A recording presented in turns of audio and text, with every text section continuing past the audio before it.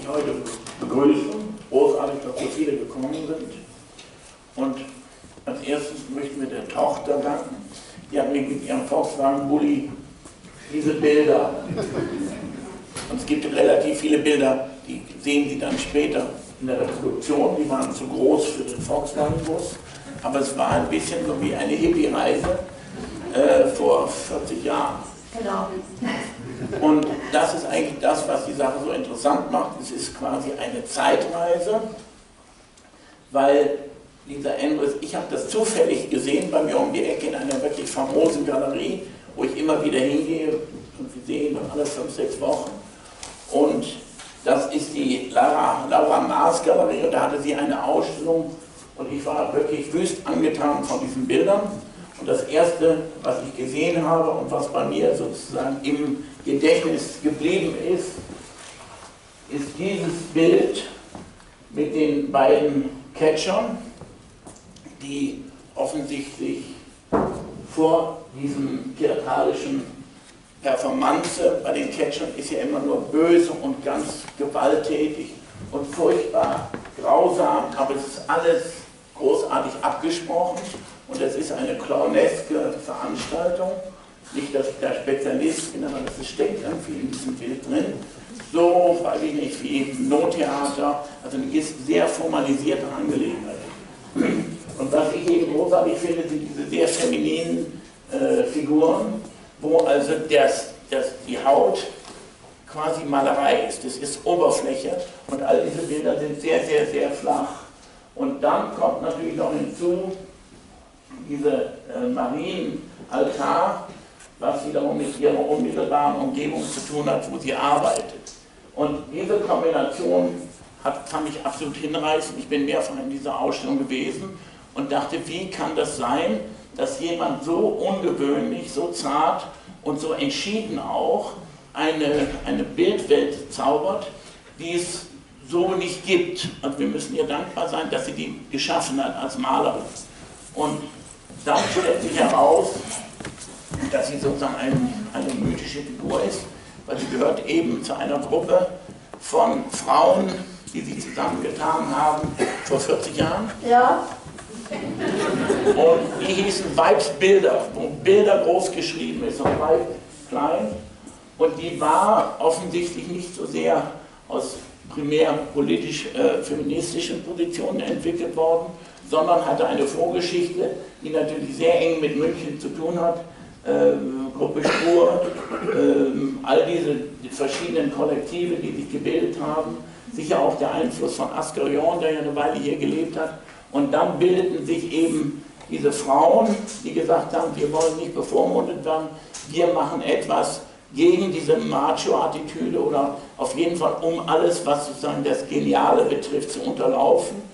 Und was interessant ist, dass die sich zusammengetan haben und gesagt, wir machen etwas zusammen, aber keiner macht was individuell und pusht seinen eigenen Namen. Und diese Gruppe hat zehn Jahre. Wir haben schon individuell gearbeitet, aber nicht ausgestellt individuell. Das war aber sozusagen, habt Während euch, dieser Zeit haben ja. wir nur Gruppenbilder ausgestellt und das war die Abmachung. Ja. Und ihr seid dann damals ja auch sozusagen beim NBK wart ihr eingeladen worden äh, mit den Gorilla Girls und anderen ja. amerikanischen, sehr klar dezidiert politischen äh, ja. Künstlerinnen. Ähm, das war aber schon am Ende unserer Zeit. Ja. Genau. Aber die hat gesagt, sie will da nicht jetzt zu sehr darauf rumreiten, ähm, sondern in erster Linie das zeigen, was viele von Ihnen, die, die Sie ja gut kennen, äh, eigentlich nicht gesehen haben, weil sie in den letzten 20 Jahren überhaupt nicht in München ausgestellt haben. Ja, stimmt, kann man so sagen. So, also ich denke, wir legen los. Wir haben diese Bilder gerade vor eineinhalb Stunden hier äh, präsentiert. Aha. Es gibt einige Stapel, die kann man dann sukzessiv wegnehmen und dann ins Dunkel stellen. Und wichtig ist vielleicht jetzt doch eine kleine Einführung zu geben mhm. über Ihre PowerPoint-Präsentation, ja. um zu zeigen, wie es dazu gekommen ist, dass diese Bilder, die wir jetzt primär hier sehen, entstanden sind. Ja, vielleicht noch eine Sache, das war jetzt für mich ein großer Wunsch, die mitzubringen. Das sind Bilder oben auf dem Speicher, die sie damals in New York gemacht hat und zurückgebracht hat. Und da ging es eben darum, und ich glaube, da ist der Punkt gekommen, wo der Frosch ins Wasser springt, wo man zwei identische Bilder malt, um quasi das individuelle Bild zu entwerten und zugleich sozusagen zu einer serienartigen Produktion bekommt, die irgendwann war es dann vielleicht auch langweilig und dann hat es aufgehört, aber sie hat vorher schon nach diesem Kollektiv sich entschieden, obwohl sie schon die 45 Jahre war, zwei Töchter hatte, äh, an die Akademie zu gehen, weil sie irgendwie das wollte. Also eben nicht zum Sturm, das wäre naheliegend gewesen aus diesem Kollektiv, sondern zum Bascher und hat dort Bilder gemalt, nur Streifen und nicht horizontal, das wäre Landschaft gewesen, vertikal, ganz rigide, sich nur mit Farbe und Licht und Fläche zu beschäftigen. Und danach, und das war für mich jetzt wichtig, das da oben auf dem Speicher zu sehen, war quasi der Punkt, der es ihr erlaubt hat, diese doch ziemlich schrägen Geschichten zu machen. Das ist das allerletzte Bild, das heißt auch wir Betrachter. Ja. ja. Und dass wir jetzt sozusagen sukzessiv da durchgehen und wenn Sie Fragen haben, bitte unterbrechen Sie. Ja.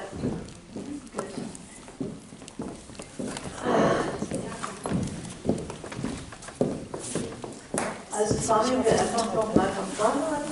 Ein bisschen alleine, aber komprimiert. Das waren wir drei, wir waren in Sao Paulo und haben dort eine Ausstellung miteinander gemacht. Wir waren damals drei noch in der Gruppe und die vierte war schon ausgewandert, sie alle. Aber zuerst waren wir fünf, wie gesagt. Wir waren fünf Jahre zu fünft und fünf Jahre zu dritt und haben diese Bilder gemalt, nicht hierarchisch, was uns sehr wichtig war, dass jede gleichberechtigt war. Und das war Novum zu der Zeit. Und außerdem, also ich meine, das war die politische Aussage. Wir waren aber keine Feministinnen. Und wir haben äh, einfach uns äh, große Leinwände aufgespannt, die auf den Boden gelegt und von allen Seiten gästisch losgelegt da gab es äh, also kein, keinen zarten Strich, den man machen konnte und sagen konnte, halt da darfst, das war höchstens mal die Ausnahme. Da wurde sofort wieder drüber gelegt. Und das ging blitzschnell. Und was aber dann das Bild ausgemacht hat, eine hat dann geschrien, stopp jetzt, stopp. Also wir haben ja nicht viel gesehen, weil wir waren ja so nah an dem Bild. Also da war der lange Pinsel und da war am Boden das Bild und dann ging es los und wir sind rumgegangen und und haben gemalt. Und dann hat eine geschrien, stopp, und das haben wir befolgt. Äh, dann haben wir das Bild etwas antrocknen lassen und haben dann geschaut, was, was wir sehen. Und das war bei dieser Art der Arbeit völlig anders wie später. Das war, dass wir die Einbildungskraft, die jede von uns hatte, äh, zum Zuge kommen ließen und gleichzeitig aber geschaut haben, dass es allen passen muss. Also man, es war wirklich nicht sehr individuell, diese Arbeit. Ja, und es äh, ging, wir hatten sehr viel Erfolg, es war eine tolle Zeit. Wir waren in den Medien ständig, in München zumindest, und wir waren sogar an, der, an einer Gruppen, in der Halle K8, äh, Gruppenkunstwerke in Kassel. Also es war schön. Also für mich war es natürlich als Neueinsteigerin total überraschend, aber auf der anderen Seite habe ich gedacht, naja, so ist es, wenn man Künstler wird, da fängt man an und dann wird man gleich von allen eingeladen und, und wir wurden, äh, zu, weil wir ja auch sogar Texte zusammenschrieben, wir wurden einfach eingeladen zu einem Symposium von Frauen in der Kunst also da waren auch, war die Jelinek zum Beispiel dabei. Also das war schon gut. Und, dies war in Brasilien, in Sao Paulo, eigentlich schon, nachdem wir uns schon verkleinert hatten als Gruppe. Und nach zehn Jahren war das Ganze quasi zu Ende, weil mit, zu zweit ging nichts mehr. Also zu zweit waren wir keine Gruppe mehr. Und ich zeige aber mal noch ein Bild aber es ging immer darum, Dominanz zu vermeiden, oder? Das kam nicht vor. Ja. Wir haben dann Spiele entwickelt, äh, dass wir zum Beispiel die Farbe Rot und Blau weglassen und mit anderen Farben malen, also solche Geschichten. Oder wir haben beschlossen, jetzt malen wir, fangen wir an gemeinsam und eine darf das Bild zu Ende malen. Das waren dann so Spiele, es war schon Auslaufzeit, war eigentlich Ende von dieser Gruppengeschichte. Es hat sich irgendwie zehn Jahre eine lange Zeit. Aber es ist sehr schwer vorstellbar, wenn man das jetzt rekonstruiert, ob. Männer auch in der Lage gewesen wären, so zu agieren. Das haben wir nicht ausprobiert, weil wir keine Männer waren. Ja, wir haben ja, es gab ja München genügend Männerkollektive, ich weiß nicht, wie es die gemacht haben. Ich glaube, die haben eher allein gemalt, aber das müssen wir sie selber fragen. Äh, nee, das war nicht. Aber unser Anliegen am Anfang war schon, schon ein bisschen gegen diesen Geniekult, diesen männlichen, etwas entgegenzusetzen. Zu spielerisch. Ja. Aber es war nie so feministisch, äh, ideologisch geprägt, das war uns. Das wollten wir nicht. Die Idee, der, die politische Idee lag darin, dass wir äh, gemeinschaftlich gearbeitet haben. Ja, das hat auch funktioniert. Das ist zum Beispiel If I Had a Hammer, das ist zu dritt entstanden. Irgendeine hat dann gesagt, ach, da sehe ich einen, einen Elvis drin oder so. Äh, und den gab es noch nicht wirklich. Den haben wir dann ganz vorsichtig, nicht mehr so gestisch, den haben wir dann vorsichtig zu dritt, könnte das sein, hat die eine gefragt, dass wir dem jetzt äh, die Gitarre äh, machen, geben. Und, und dann hat es, äh, wurde sehr kontrolliert und beobachtet und sofort halt geschrieben, wenn was falsch gelaufen ist. Und verkauft habt ihr nichts, weil die Leute wollten nur was sozusagen äh, individuelles, Geniales kaufen. Ne? Künstler haben was gekauft von uns, also Ginka Steinbachs hat ein Bild gekauft. Ich glaube, die kann man wirklich an einer Hand abzählen. Also du kannst mit berichtigen Bild, wenn es stimmt. Ha? Stimmt. Stimmt, ja. Okay. Also, so war's. Und dann hat sich das irgendwie auch. Ja, klar, weil es eben nicht kompatibel ist mit dem Markt, man investiert. Es war nicht marktgerecht, ja. es war nicht Geniekult. Ja. Und genau das ist ja jetzt noch, noch viel stärker. Und deshalb gibt es ja dann jetzt bei mir auch so Varianten, also so andere Geschichten, wo ich dagegen vorgehe, aber natürlich nicht mehr lautstark, ja. sondern sehr subtil vielleicht.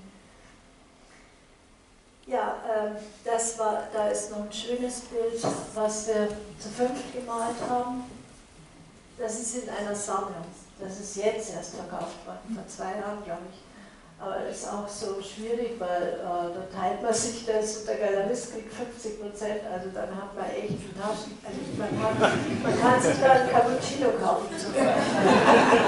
also das ist natürlich hart. Und äh, ist auch ein Grund, Gut, also während dieser Zeit, wir hatten ja ausgemacht, Einzelbilder können, kann jede machen, war auch total notwendig. Für mich zum Beispiel, ich bin heimgegangen und habe mich dann allein, äh, war so dankbar, dass ich jetzt für mich allein Bild malen darf. Und, und das, die haben wir aber nicht gezeigt. Die Bilder, das war Regel, die wurden nicht gezeigt. Und es war auch sinnvoll, weil sonst wäre die, äh, die Gruppe schon viel früher auseinandergekracht, äh, möchte ich wetten. Gut, also, da habe ich also jetzt hier ein Bild, was von mir allein ist zu der Zeit. Und da gab es dann auch schon viele, viele gute, schöne Bilder. Und am Ende der Weißbilderzeit konnte ich dann, habe ich einen äh, Debütantenpreis gekriegt äh, und konnte in München dann diese Bilder zeigen. Und ich bin aber nach dieser, also es war 87 oder 88 und 89 bin ich, habe ich mich an der Akademie beworben, weil ich endlich mal einen Lehrer haben wollte. Und habe dann angefangen mit dem 25-jährigen Studenten, ich war 43 zum Malen und es war super. Es war, es war eine andere Geschichte jetzt. Aber wie gesagt, jetzt kommt dazwischen habe ich noch eine Ausstellung von Helmut Friedl, äh, bewilligt bekommen im Kunstforum. Das war damals, äh, das gehörte zu, zum Lehmbachhaus. Das ist unter der Maximiliansunterführung, so ein toter Raum. Und äh, das ist sozusagen jetzt der Kunstbau, der ist nur viel größer, aber ist auch so ein toter Raum. Und der kannte eben diese Bilder und war dann ganz verwundert, dass ich was ganz anderes gemacht habe. Und das habe ich gemacht, weil in dieser unterirdischen, niedrigen, äh, verlorenen Ecke ich diese Skulpturen machen wollte. Und da war ja auch der Auslöser, so ein Irakkrieg. Und das ist so eine Art, die Lähmung wollte ich zeigen, dass sich bewegen wollen, aber nicht können. Und das habe ich in verschiedenen Arbeiten ausgedrückt. Also der Mann, der im Schubkarren äh, vorwärts will, ohne Leder, und der Hund, der auf der Leiter nach oben will, was ja auch ein bisschen unmöglich ist. Äh, und die sind aus Blech. Und dazu gab es aber dann auch noch ein Relief oben an der Wand, also weil ich ja auch vom Bildnerischen her das. Waren im Wald.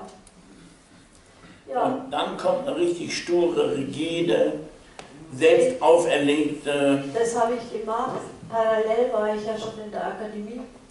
Und dann habe ich beschlossen, ich nehme jetzt mal alles narrativ expressive raus.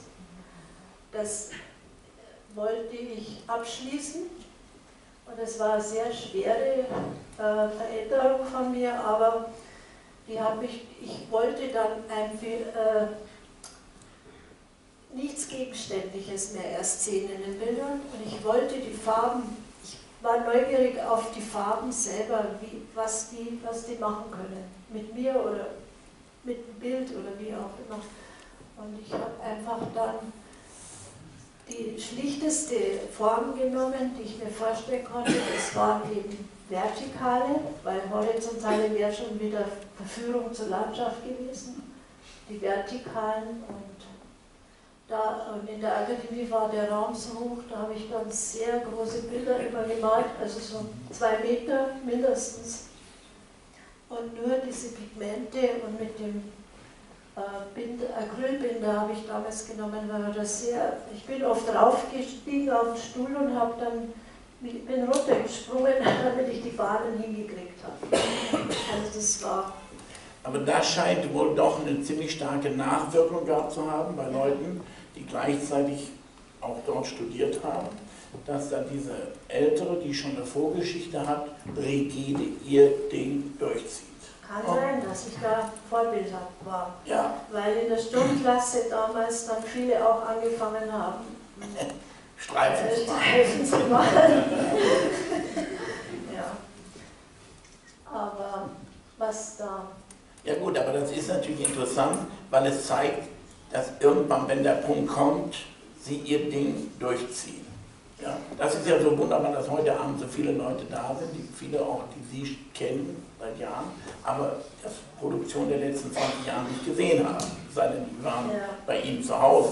Ja. Und das, glaube ich, ist, ist wichtig dabei, also diese auch nicht darüber zu überlegen, was hätte sein können, wenn, wie, was, unter welchen Umständen wahrgenommen worden wäre, sondern dass, dass bestimmte Dinge, die nicht passiert sind, ermöglichen aber später eine Explosion, die stattfindet mit einer Ikonografie, die ihm nicht so leicht zu verstehen ist, weil sie immer widersprüchlich ist und immer schräg und sehr hinterhältig, nachhältig und eben auch wirklich wunderbar eine lyrische Qualität hat.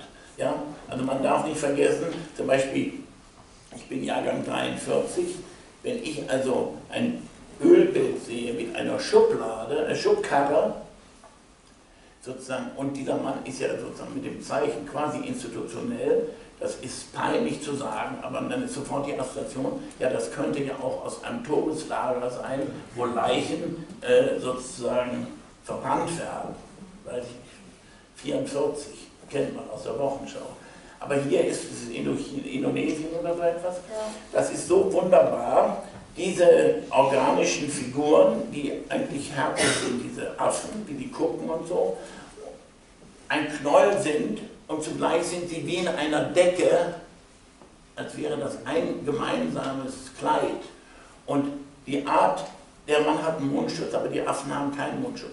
Dieses Bild ist ähnlich wie eben jenes. Es gibt Meisterwerke. Je öfter die Sie sehen, desto mehr entwickeln die sozusagen eine Geschichte, die aber nur sich auflöst in Malerei. Ja? Also Sie als Betrachter werden aktiviert. Ja, aber da war dieses Bild ist eines der letzten. Das ist das äh, allerletzte. Das ist das allerletzte. Das nehme ich jetzt her. Ja, genau. Aber das, heißt, gar, das heißt auch der Betrachter, ne? Der Beobachter heißt es. Weil er beobachtet, man weiß nicht, wer wen beobachtet. Das ist ein Kommunikationsbild. Hat mit Luhmann zu tun. Aber nebenbei.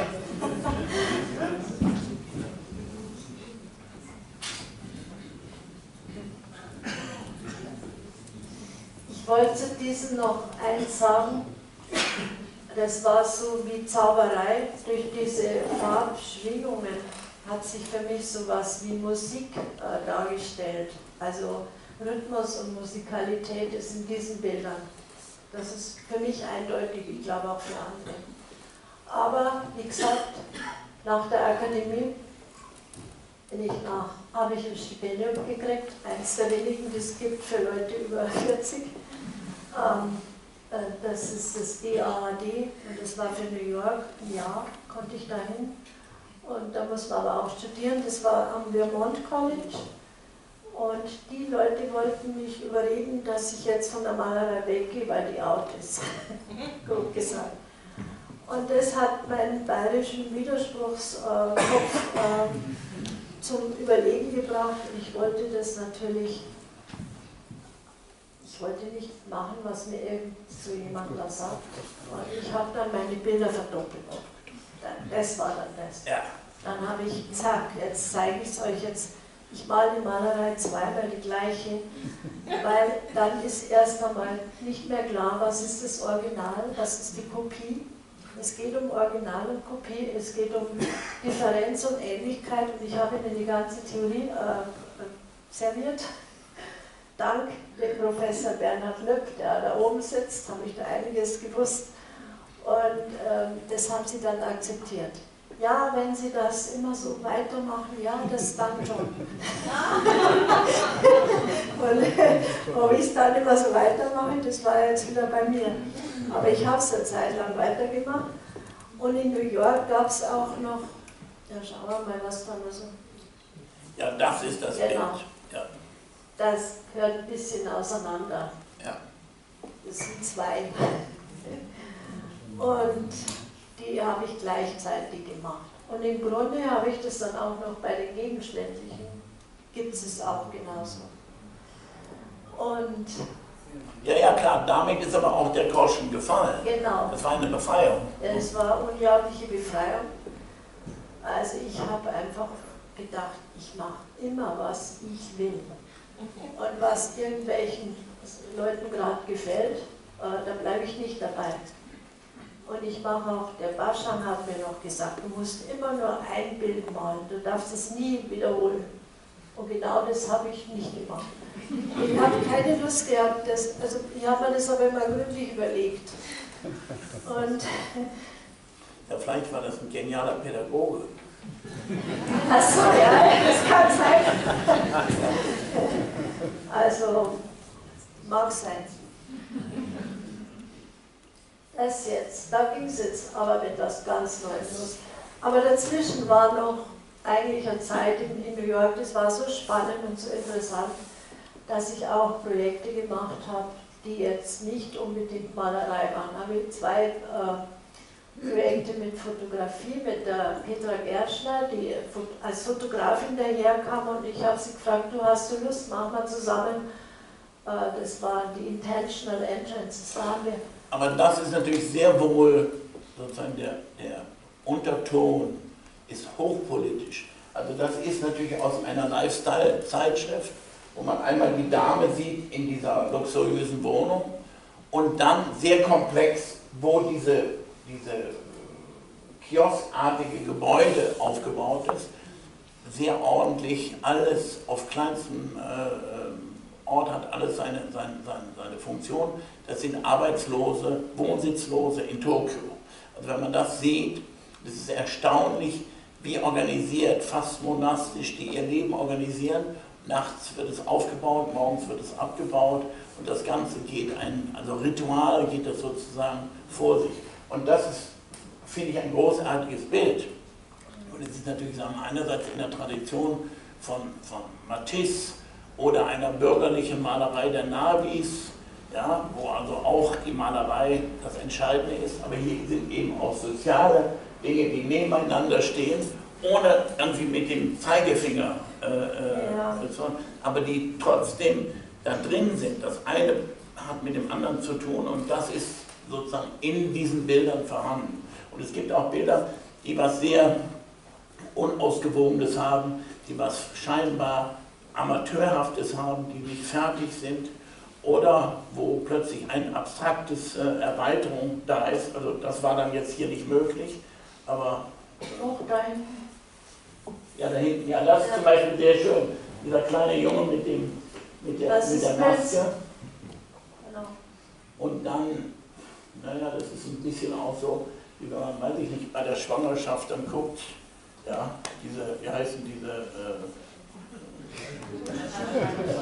also wo, wo sozusagen die drei Dimensionen da ist, wo das ein Organ äh, ja, das ist jetzt wieder was, was ich noch nicht gesehen habe. Da können wir jetzt in der Gruppe anfangen, weil wir was reinziehen aus. Also ich will auch die Bilder offen lassen, was man Also wie auch so mal die Idee des Waschbären. Ja, aber hier, das kommt vom Science Fiction, das ja. Vorbild. Ja. Der ist irgendwie in einem, einem utopischen ja. äh, Halbgott-Herrscher, oder? Ja, das ist Rocket. Äh, der kommt in so Filmen vor, das ist Science Fiction. Und der Roboter ist sozusagen ein, ein Genosse von ihm, oder? Der, der, das ist ein echter Mann in seiner Raumfahrermaske, der beschlossen hat, der auch schon ausgewählt ist für, für, für den Mars. Der will da wirklich hin und dort bleiben bis zum Lebensende. Und äh, diese Weltraumkombination hat mir wieder sehr gut gefallen, weil es äh, einfach einerseits so furchtbar ist, dass man ja, zum Mars muss oder was weiß ich, und, und, aber auch so entdeckerisch und wichtig, und, aber dass es wirklich Menschen gibt, die äh, sich dem aussetzen wollen. Und dann dies, aber das, da kommen wir erst später dazu, jetzt sind wir erst noch bei jedem. also wollte ich noch sagen, sogar die Pantoffeln von dem, äh, von dem Japaner, der da drin sein, sein Heim hat, stehen sein fein säuberlich vor der Tür. Und äh, das war eben das Bild, das Bild und noch andere waren die Auslöser. Ich habe dann plötzlich mit den Medien äh, mich ich habe einfach die Zeitung gelesen, sagen wir mal, und ich habe dann diese alltäglichen Eindrücke, die mich zum Teil so fertig gemacht haben, dass ich es überhaupt nicht verkraften konnte. Und ich wollte sie aber rüberbringen, aber eben nicht so grausig, wie es ist, sondern ähm, immer mit der Verlockung der Schönheit vielleicht. Ich weiß nicht, ob das jetzt stimmt, aber ich sage viel, was wo ist denn das Bild, das passt nämlich gut dazu, das Bild, was Sie gemalt haben, wo die Frau, die ältere Dame im Sportwagen sitzt und der Hund... Ja, aber das, jetzt schauen Sie mal, jetzt kommen wir zum nächsten. Ja. Das, das, war dann auch wieder aus den Medien. Da war, hieß es äh, in der Zeitung, zwei amerikanische Soldaten erholen sich im Schwimmbad von Saddam in Tikrit. Und das habe ich äh, gemalt und jeder denkt, ja, das ist ein schönes äh, Bad aus, ist aus Budapest. Und ich habe aber dann noch das Birge reingemalt, aber auch wieder so merkwürdig. Und äh, das aber das ist ja der Blick aus Ihrem Atelier. Ne? Ja. Und die Amerikaner haben dafür einen Begriff R&R, das heißt Rest and Recreation. Und da gibt es großartige Catch-22 und andere Komödien. Entweder über den, den Koreakrieg, da war es noch sehr lustig, und dann wurde es immer depressiver im Vietnamkrieg.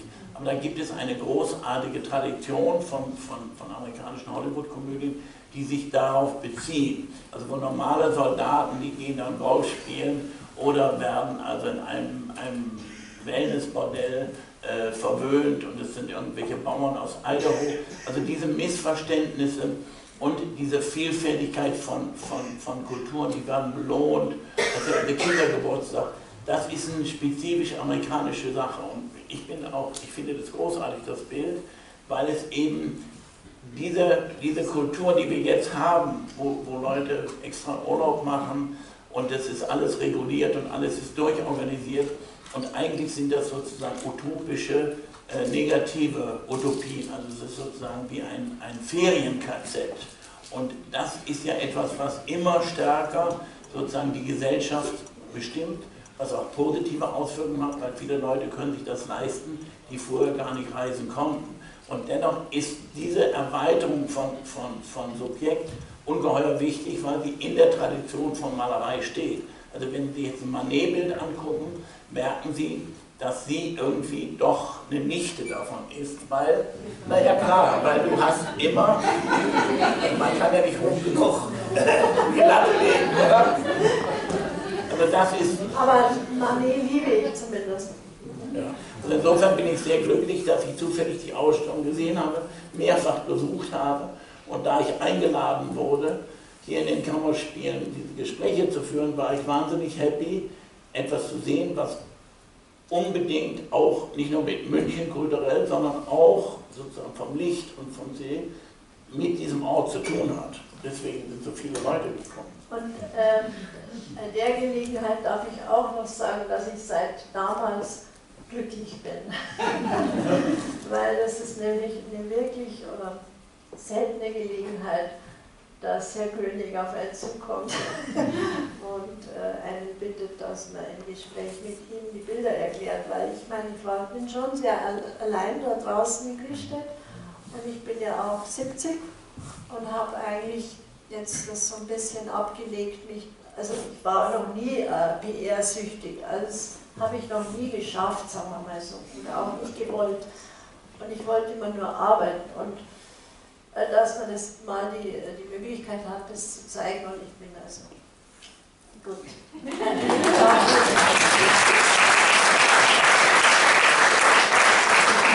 Jetzt machen wir weiter.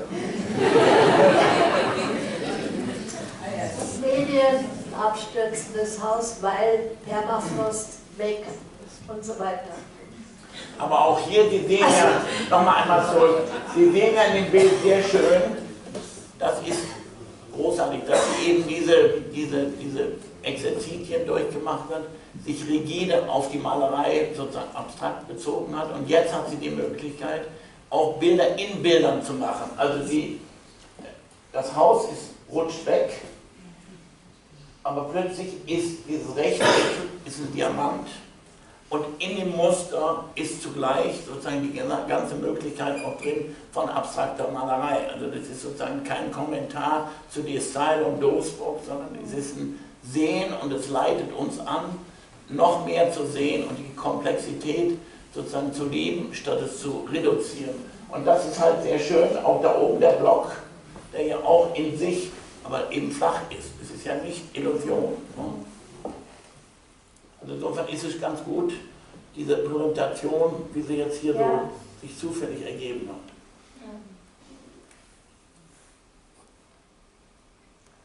Ist wieder zwei Meter groß, kommt man nicht mitnehmen. Ah, äh, das ist ein leeres, ein verlassenes Zimmer. Ich gehe mal weiter, oder? Ein bisschen schneller. Das ist jetzt, äh, sind Arbeiter auf den Osterinseln und da hieß es in der Zeitung, der letzte Baum auf den Osterinseln, die, die bauen Schwefel ab. Aber das ist auch wieder so ein Zwischending zwischen, also was Sie gerade erklärt haben mit dem, dass ich so frei geworden bin. Also es gefällt mir halt sehr. Ja, und die Osterinseln durch diese großartigen archaischen, mythischen Figuren ist sozusagen die, sind die Osterinseln zerstört worden. Ja. ja. Also Sie können dahin fahren aber alles, was Sie sehen, ist sozusagen künstlich für die Touristen rekonstruiert worden. eigentlich ist die Insel voll im Eimer. Ja? Und das ist interessant, weil es ja jetzt nicht irgendwie ein, ein Kulturpessimismus da in dem Bild hat, aber das ist sozusagen der Unter, äh, Unteraspekt. Ja. ja. Das ist, äh, kommt auch leider nicht ja. Äh, das ist noch nicht so alt. Das beschreibt äh, die Olympischen Spiele in Sochi. Äh, und da wurde einer hochgeschossen, um die Fahne, äh, die, nicht die Fahne, sondern das Licht, die, Fackel da. Olympische Fackel, ja. Es wird im Wasser hochgeschossen und, und soll dann die Fackel halten, aber die Fackel hat nicht funktioniert und deshalb habe ich das Bild gemacht. Keine Frage. Das wäre gut ein Geschenk vom Freistaat Bayern an Putin. ja, für die Eremitage, das wäre egal. Er wird es aber nicht verstehen. Da fehlt sein Porträt. Naja, in Eremitage, die haben schon Ahnung von Malerei, so. Ja, das stimmt. Aber was bei dem Bild auch wieder drin ist, wenn man genauer schaut, das hat wieder einen abstrakten Hintergrund. Also eigentlich so ähnlich war das Bild drunter wie das, wie das, was da oben an der Wand ist, rechts. Äh, ich habe auch oft äh, alte Bilder übermalt, weil, weil ich keinen Platz mehr hatte. Oder zu faul war, Neues aufzuspannen. Ja, wie hin und wieder nehmen Sie auch ältere Bilder ja. und machen was damit. Ne? Und das ist auch wieder so nette äh, Täuschung also der Mann weiß nicht, was ihm geschieht. Er geht zwar einen steilen Berg hoch, aber hinten im, im Rucksack trägt er schon das Tier. Er ist nicht sehr freundlich. Äh, das könnte auch so eine Luftmatratze Kinderkrokodil sein, oder? Ja, aber ich habe es gedacht, ist echtes Krokodil, muss ich sagen. Ja, ja. Das ist jetzt äh, ähm, vor einigen Jahren war ja die Ölpest im Golf von Mexiko und da waren die Fischer äh, sauer. Und die, das habe ich einfach gemalt. Und dahinter ist aber ein älteres Bild. Das wirkt dann, das lasse ich zum Teil dann immer.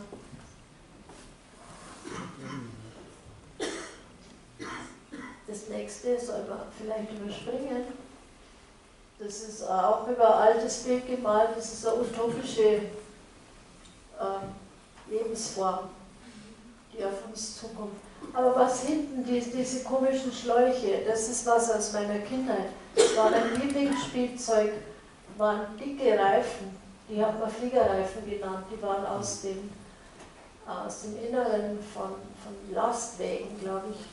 Äh, und da hat dies war zugleich Trampolin und Pferd und Schiff für mich. Da bin ich drauf umgehopst und die, mit denen bin ich im Wasser. Aber das könnte auch so eine Fernseh-Lounge-Szene ja. sein, oder? Ja, aber ich finde... Äh, Chillen.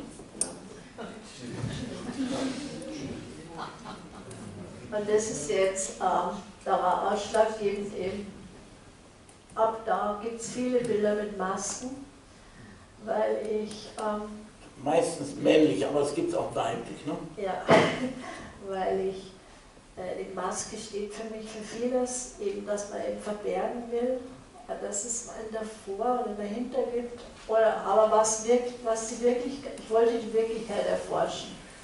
Und im Grunde ist vielleicht mehr die Maske das Wirkliche in unserer Zeit, wie, wie, wie das drunter, was drunter ist. Ich weiß, ich kann es im Moment nicht besser sagen. Jetzt in Berlin im, im, in der Volksbühne ist ein Theaterstück von der Kennedy, die ja aus München kommt und die hier gearbeitet hat. Da geht es eben um ein Sanatorium und sozusagen die moderne Lebensverlängerung. Und da gibt es eben, alle Schauspieler tragen Masken und alle Stimmen sind sozusagen aufgenommen. Aber es handelt sich eben um Krankheit und Psychologie und Klasse und so weiter. Und das ist schwerst erträglich weil es eben so ganz artifiziell ist und rekurriert auf klassisches griechisches Theater. Die Bühne ist auch gewaltig, nicht so groß wie hier. Also irgendwie stimmt es nicht. Und das wiederum, da musste ich denken an die Typen mit ihren Masken, weil das ist ja alles Oberfläche. Das ist ja Imponiergehabe, das ist Wichtigtuerei, heiße Luft, aber letztlich ist es ein unglaublich schönes Spiel. Also nicht, dass ich da ein Spezialist bin, aber es ist eben nicht so beschwerlich und belastend, sondern es hat irgendwas, ein positives Momentum von, von, ja, von Spiel. Und das ist auch gut, weil es eben nichts anderes ist als eine Malerei. Aber eine Malerei, die sozusagen immer wieder unerwartet äh, Assoziationen herstellt und das Zeug immer wieder neu angeguckt werden kann und was anderes bedeutet.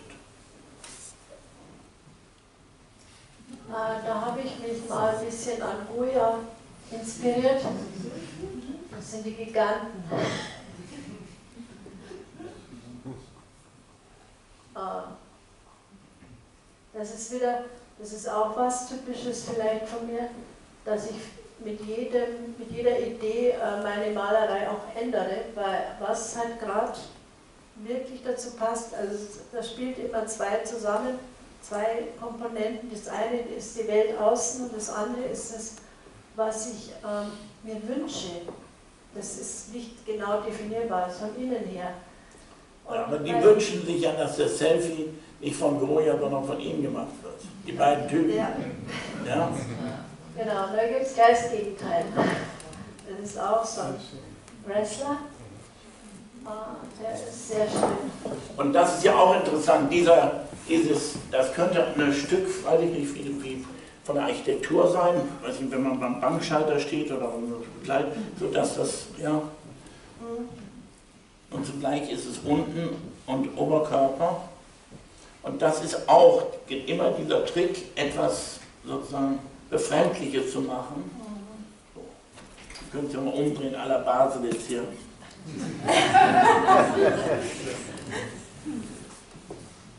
da gibt es noch so einen, oh, der ist wieder anders gemalt, ah, aber der, der ist viel äh, dunkler in echt.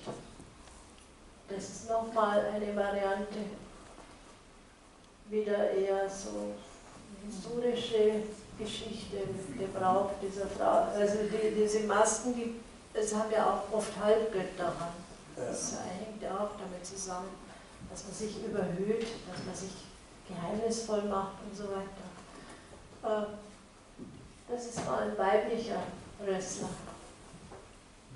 Mit ihrem ja, und das ist sehr schön, dieses, dieses, äh, dieser Hund, dieser Bettvorleger. Ja. Er hat so was sehr Melancholisches. Also als wollte er sich ein bisschen lustig machen über, ja, was ist eine Wahlverwandtschaft. Sehr schönes, großes Bild, leider zu groß, um es herzubringen. Ja, Herr König ist heute extra, er ist in der Früh in Berlin weggefahren und extra zu mir rausgekommen. Das war alles heute. Und wir haben die Bilder ausgesucht, aber das wollte er gerne mitnehmen, aber es ist auch zwei Meter und das passt nicht in Fabibus. Jetzt haben wir noch, das war ja das letzte, ah, genau, der, der Beobachter.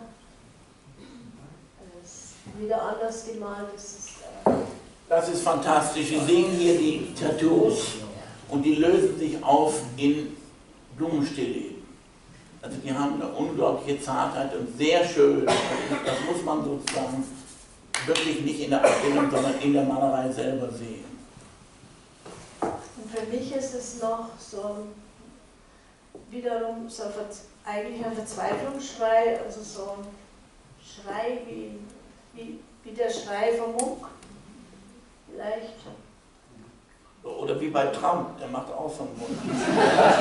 ja, bei Trump würde Trump sich nie, nie, nie mal, also, äh, würde mich keine Zielfähre dazu bewegen.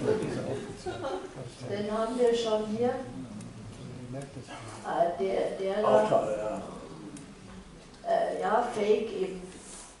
Es wird gespielt, dass man sich umbringt, aber man wird, bringt sich nicht wirklich um. Und ich meine, das ist auch so ein Wunsch von mir, dass doch bitte alle Menschen, die kämpfen wollen und auf den Kopf drücken wollen, sich in Wrestler verwandeln, die dann spielerisch kämpfen und, und einer gewinnt und und so, und, aber es passiert nichts. Das wäre mein, meine Utopie. Das ist, den mag ich besonders gern. Aber Die elegante Bewegung. haben wir den dabei? Ja. Den haben wir echt dabei. Den kann man nochmal anschauen, wenn er nicht so flach abgeht.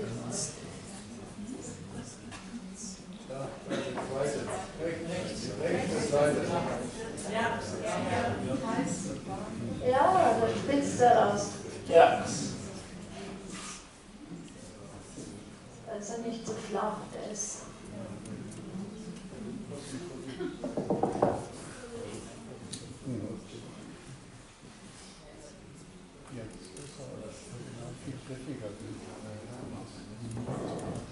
Dann gibt es ja die Halbgötter Inkognito, das ist der Mike Jackson.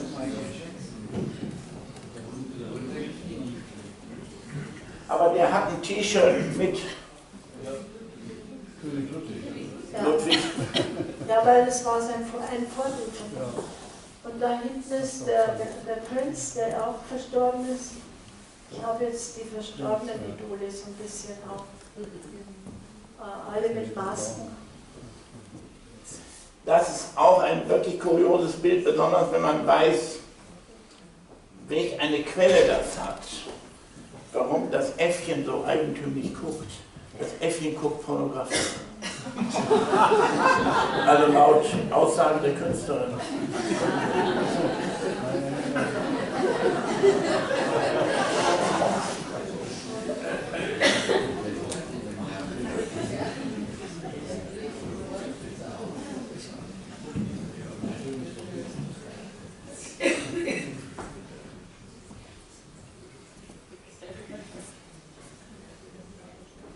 Das finde ich irgendwie gut für die Nachbarschaft. Das könnte Maximilianstraße sein.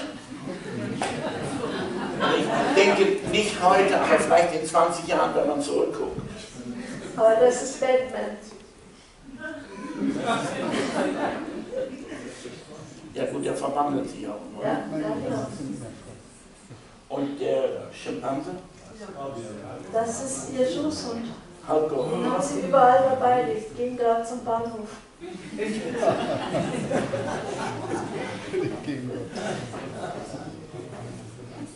Ach, das ist auch sehr schön. Ja, das ist wieder so ein Halbgott, der Fall nach vorne. Dame klaut. Das ist wieder nach dem historischen. Die Soll ich helfen?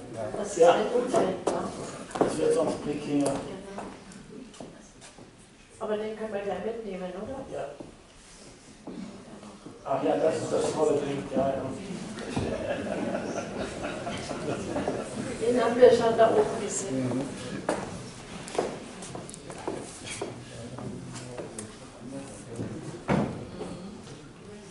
Da gibt es noch die Variante Ah, ja. zu dem Affenbild.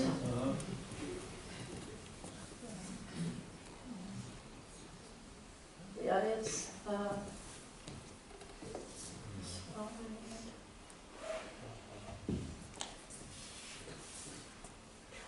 Dazwischen habe ich auch noch mal ein Projekt gemacht in New York äh, und zwar, das war.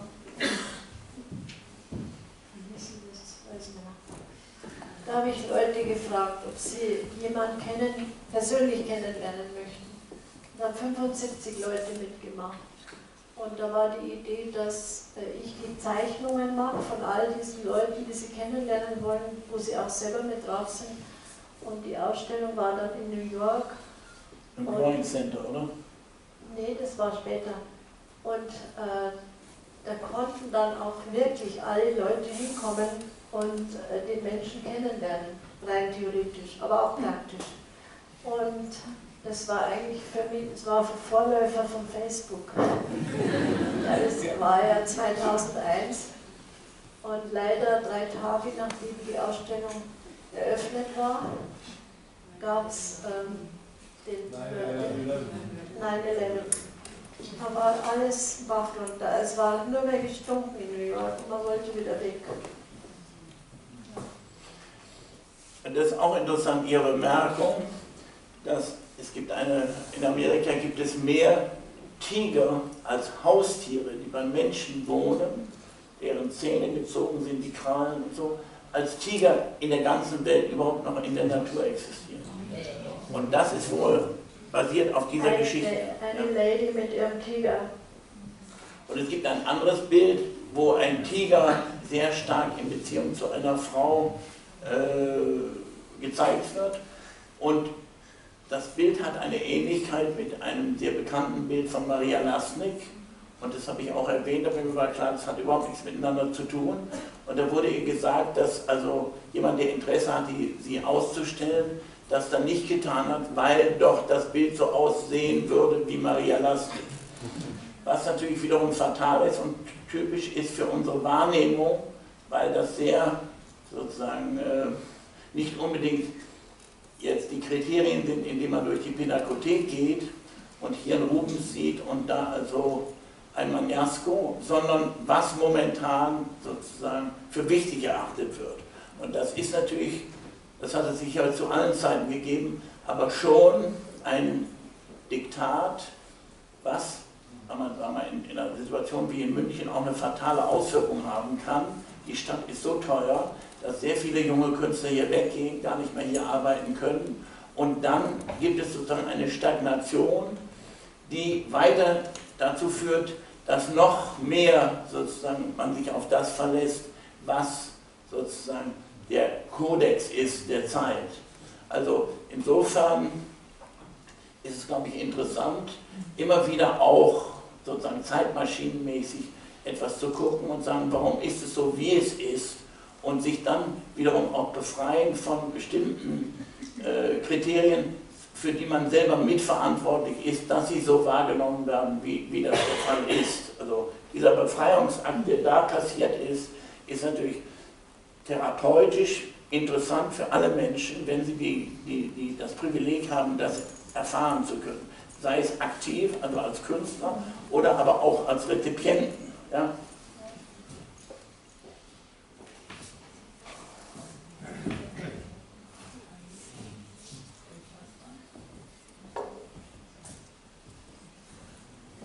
Das ist wieder aus den Medien. Äh, und da hieß es, äh, dieser Züchter hat ein Kanickel äh, für Nordkorea gezüchtet, das so groß ist, dass es acht Portionen Fleisch hergibt. acht Portionen.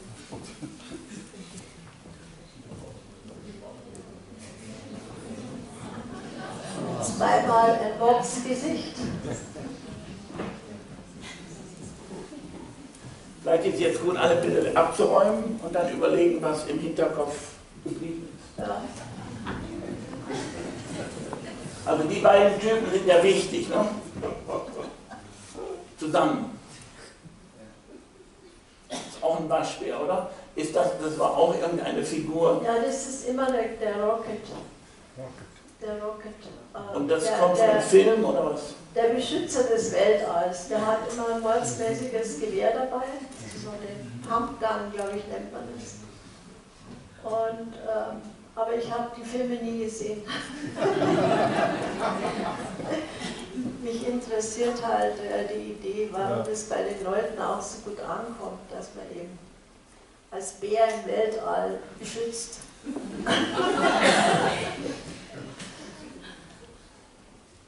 Aber das Gewehr ist mehr sozusagen ein Symbol, oder ist es ein aggressiver? Ja, das hat er so dabei.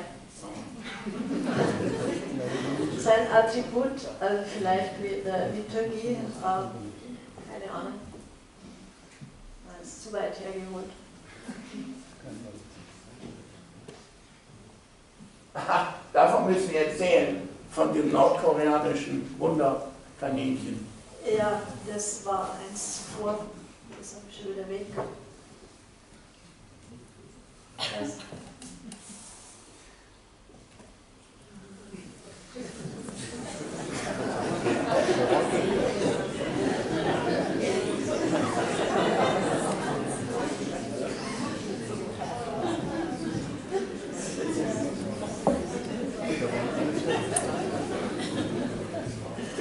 Das sind so viele alte Bekannte von Ihnen, die haben doch bestimmt unbedingt fragen. Ja. Also wir sind jetzt auch fast schon durch. Äh, schauen wir. Also das da ist auch schön, weil ja, das ist eine die Post, das hat man ja heutzutage so, aber die Post vor dem Eisberg, der abgebrochen ist. Also das ist, glaube ich, ein ziemlich schlimmes Zeichen, was wir dann zurzeit in der Umwelt haben.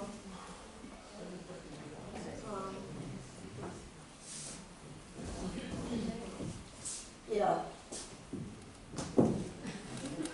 Da, äh, das ist jetzt das Neueste. Ich kombiniere jetzt ganz gern wieder meine ganz abstrakten Bilder mit den anderen.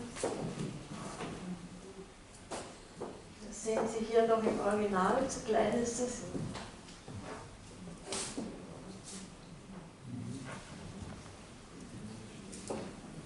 Und das überrascht mich dann selber, wie gut das äh, zusammengeht. Weil ich werde oft gefragt, was, was malst du? Und ich weiß dann gar nicht, ja, auf Leinwand, äh, Essigöl oder wie. Das ist schwierig. ähm, und das alte Bild, das ist schon mit Lackfarben und hauchdünnen Schichten. Ich weiß auch nicht. Ich finde, dass es funktioniert.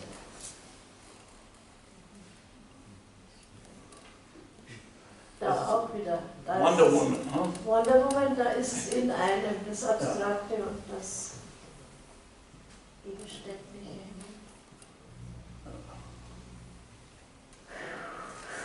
Das reicht sehr schön langsam, oder? Das ist ja jetzt das Tigerbild, Ach ja. wo Sie gerade erzählt haben. Aber das ist Roy, oder? Das ist ja nach, nach Roy. Von Las Vegas.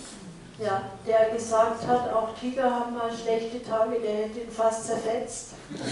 Aber es gibt eben das Bild von ihm, mit, wie er im Bett liegt mit dem Tiger. Und das war mein Ausgangsbild, das habe ich dreimal gemalt. In drei Varianten. Und das ist äh, auch wieder so ein jetziger, der, der Be Bezos, glaube ich, heißt Bezos oder Bezos von Amazon. Amazon, Jeff Bezos. Ah, ja, genau. Der ist, ähm, ja, man weiß nicht so genau. Also hinter ihm ist so, eine, so ein grinsender Affe. Und jetzt haben sie eher, mein Atelier war es wieder so ähnliches wie hier jetzt die, ähm, So hier, die wollten wir doch hochzeigen. ah, die wollten wir auch. Also so schaut es bei mir daheim aus, wenn mal Und das ist auch toll, dass Sie sich das selber beigebracht haben zu vergolden. Und, Ich äh, habe mir viel beigebracht, ja. Noch äh, lange, ganz am Anfang. Ich habe auch geschnitzt überhaupt, habe ich mit dem Schnitzen angefangen. Also ich habe hier äh, eine Kuh und der Herr König hat die andere. Danke.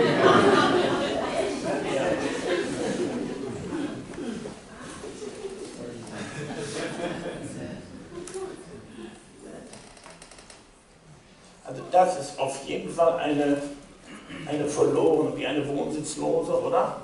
Die, Las Vegas, eine verlorene Dame mit ihrem Hund und ihrem Plastiksack.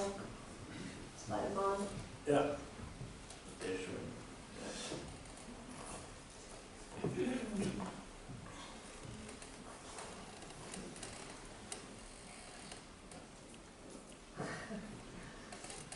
Sieht man das überhaupt nicht? ja. Aber es gibt ganz viele davon. So, jetzt sind wir eigentlich fertig, oder? Ja. Also wenn Sie Fragen haben, oder wollen Sie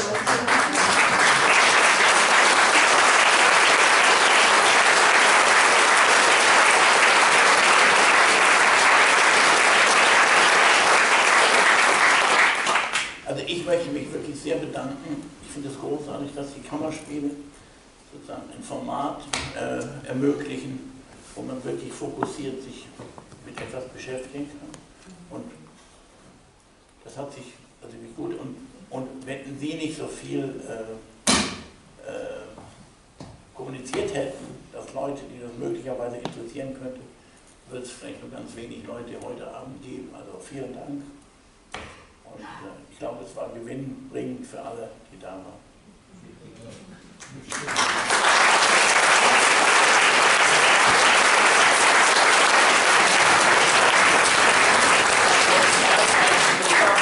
Alle Dekade, jede Dekade ist immer wieder, die Malerei ist tot und die ist schon lange tot und die Fotografie ist tot.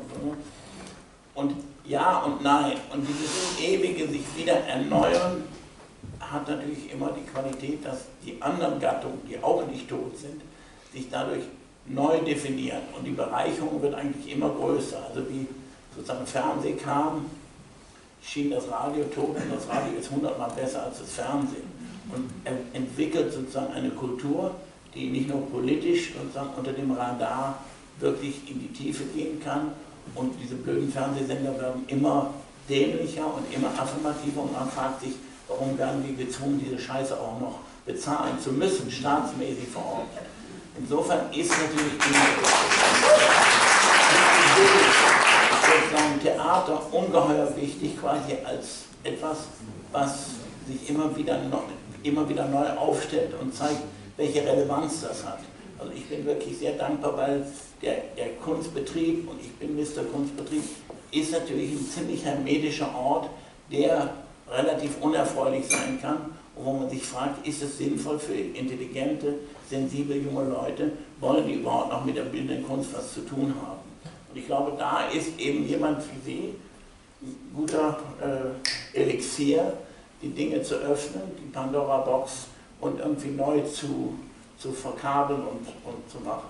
Also, danke. Danke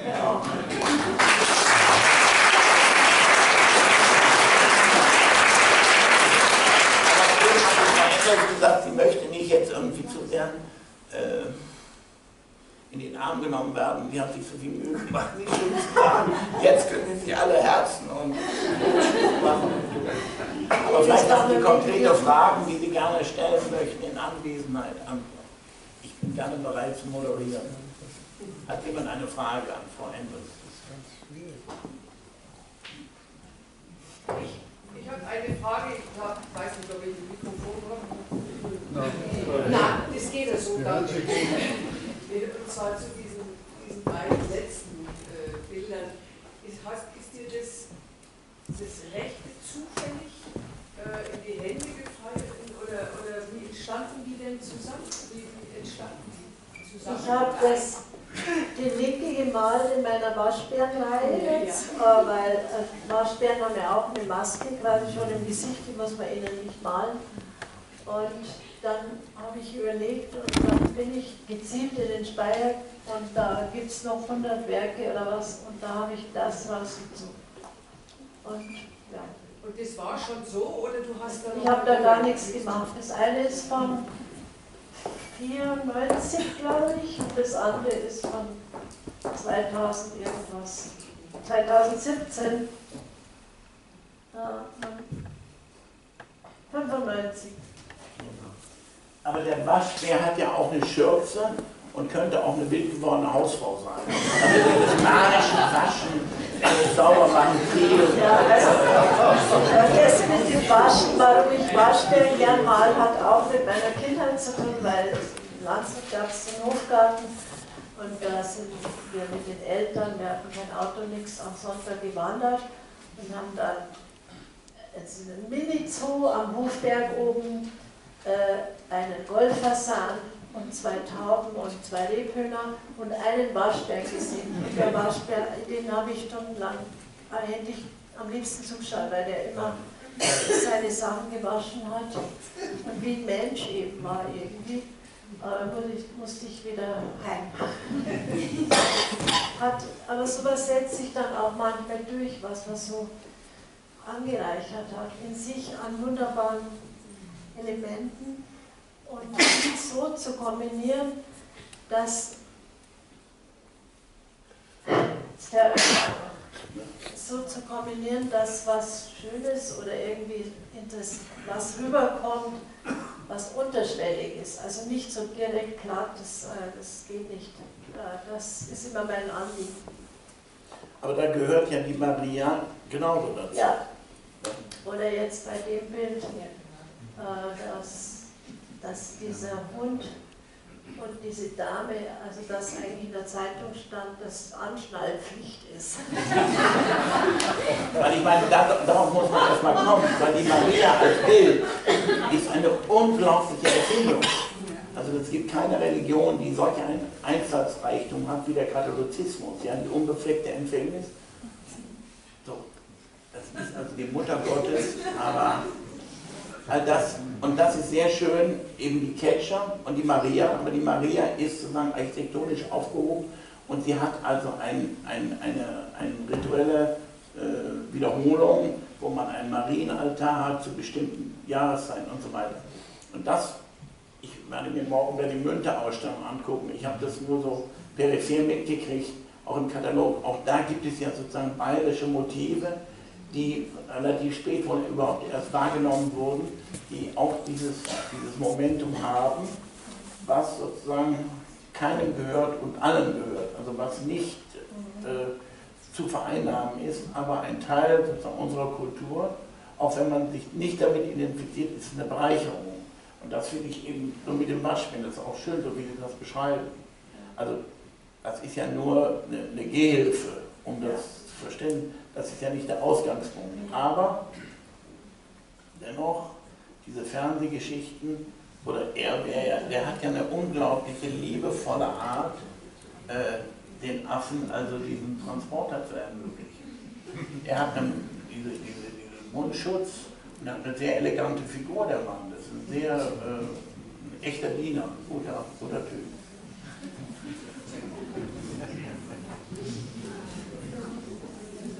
War das das Foto, äh, wo es um die, die Jungen von den getöteten äh, Gorillas ging? Das war, glaube ich, eine sehr kritische. Ja, ja, das war das ist ein fürchterlich, das fürchterlichste Bild. Da habe ich mir schwer überlegt, ob ich das überhaupt male. Da habe ich fast geweint, wie ich das gemalt habe. Es geht nämlich darum, dass äh, zurzeit äh, überall die Urwälder abgeholzt werden in Indonesien. Also, und dann schießen sie natürlich die, die, die Weibchen und, und, und schaffen die Jungen raus und brennen alles ab, um dann Palmöl anzupflanzen. Ja. Okay, aber das ist eigentlich ein blöder Schluss, oder? Was mir ganz gut gefällt, was mir sehr gut gefällt, ist tatsächlich so diese Kombination, äh, wie wir es hier zum Beispiel sehen mit den Waschbären, etwas abstrakten. Äh, weil beide Bilder haben eben die Ausstrahlung von Lisa Endres ähm, und ich glaube, dass sie ähm, unterschiedliche Bilder, die sie gemalt haben, gut kombinieren können und immer ein neues Spannungsfeld eigentlich damit erzeugen. Äh, ohne dass es befremdlich wirkt, weil es eben alles von ihnen ist. Und ähm, das hatte ich ja eben auch schon mal gesagt, dass diese Kombination, egal jetzt auch wenn man ein Streifenbild zum Teil äh, mit dem Astronauten kombinieren würde, total super ist.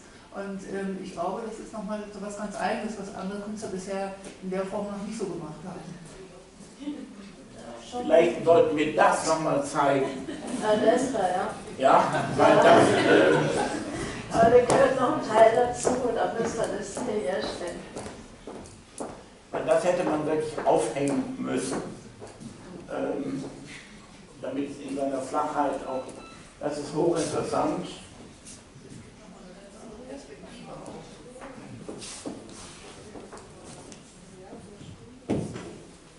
Auf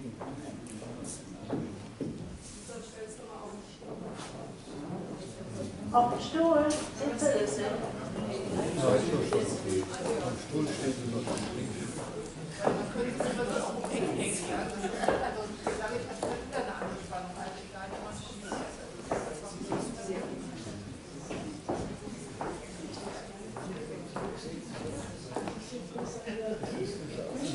Das war eigentlich ursprünglich ein Bild, aber das hat mir nicht gepasst. Dann habe ich äh, das abgespannt, auf zwei Keillampen gespannt und äh, damit ich es auseinander, damit ich es so ein bisschen mit so einem Abstand machen kann. Ja, das sind so Feinheiten, wo ich mich dann doch ganz schön spiele. Ähm,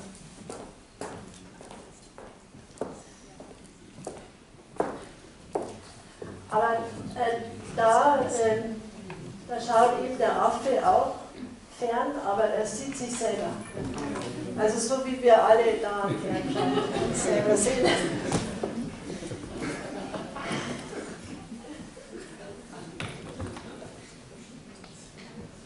Du greifst all die schwierigen Probleme unserer Zeit auf. Klimawandel, Ja, ja, ja. Menschenverachtung, Tierverachtung und so weiter. Und es ist schön, dass du da immer noch, du noch diese sublime Kurve kriegst, dass da auch etwas äh, Positives, was eigentlich was Hoffnung gibt, dass die Depression entgegensteht. Ja, Und äh, das ist das, was unsere Zeit braucht. also ich meine, ich arbeite an den Bildern, weil ich sonst hält man es ja vielleicht gar nicht aus. Ich weiß nicht. Andere arbeiten an was anderem. Ich arbeite an Bildern. Weil das ist sehr vielfältig und das äh, macht es spannend. Ja. Ja, ich habe halt ein reiches Feld. Ich habe, wie gesagt, 40 Jahre Malerei auf dem Buckel, mindestens. Äh, davor war er auch schon. Äh, und das, äh, das Schöne ist, dass da alle Erfahrungen reinkommen und, und sich, und das ist sehr aufregend auch. Sehr spannend. Äh, was so toll ist, Ihre Batterie ist noch lange nicht leer. Äh, ich fange gerade erst an.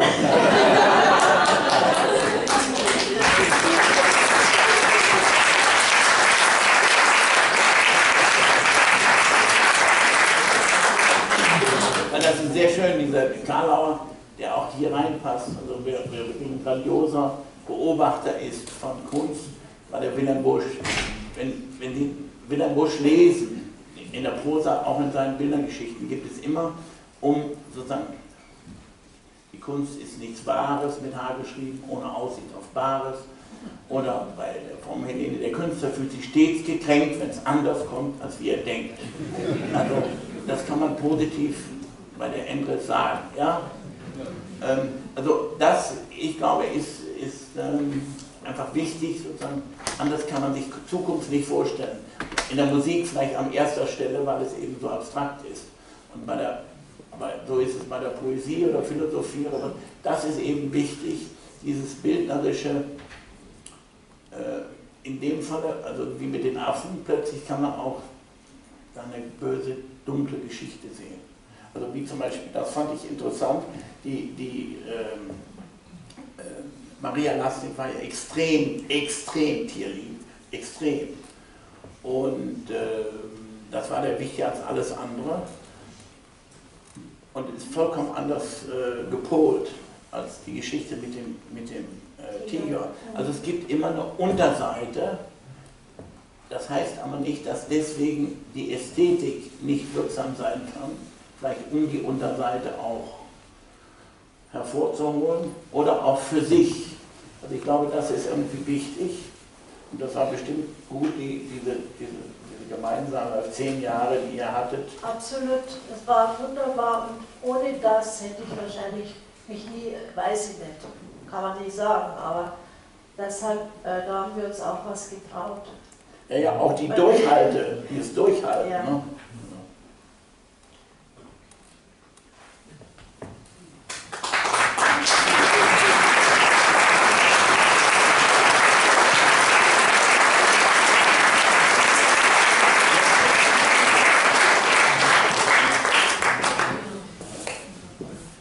Also ich freue mich schon, wenn wir alle in zehn Jahren eine Retrospektive von ihr